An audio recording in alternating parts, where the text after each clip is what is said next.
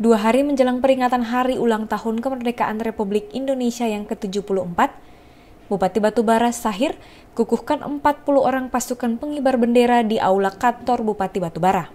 Bupati Batubara dalam sambutannya mengatakan, 40 orang pasukan pengibar bendera adalah putra-putri terbaik Kabupaten Batubara. Karena sebelumnya telah melalui seleksi dari setiap kecamatan, sehingga diharapkan pada pelaksanaan detik-detik proklamasi pada tanggal 17 Agustus dapat berjalan dengan lancar.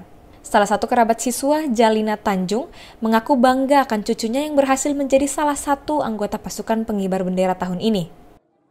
Gimana merasa melihat Senang mereka? hati saya, bangga saya punya cucu kayak gini. Saya bangga. Harapannya Bu ke depan gimana Bu? Semoga apa yang dicita-citakannya berhasil. Semoga Allah langkahnya. Selain itu, seorang peserta Paskibraka Suryani juga bercerita tentang suka duka mengikuti pelatihan. Suryani bercita-cita suatu saat nanti dirinya akan menjadi seorang poluan.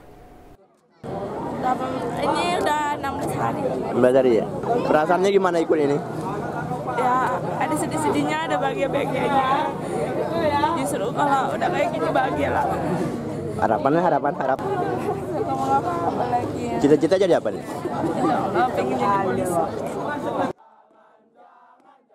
Dari Batubara, Sumatera Utara, Soleh Pelka, Tribrata TV, Salam Tribrata.